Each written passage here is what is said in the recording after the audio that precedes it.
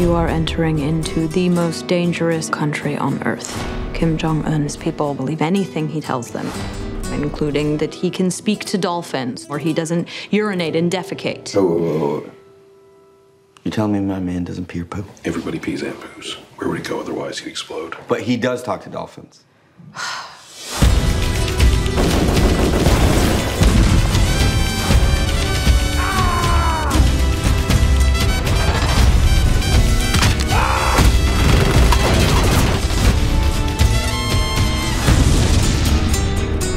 two best friends stared each other in the eyes, they knew that this might be the end of the long road.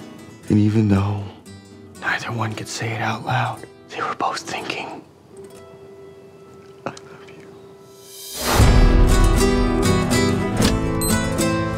you want to go kill Kim Jong Un, Totally. I'd love to assassinate Kim Jong Un. It's a date.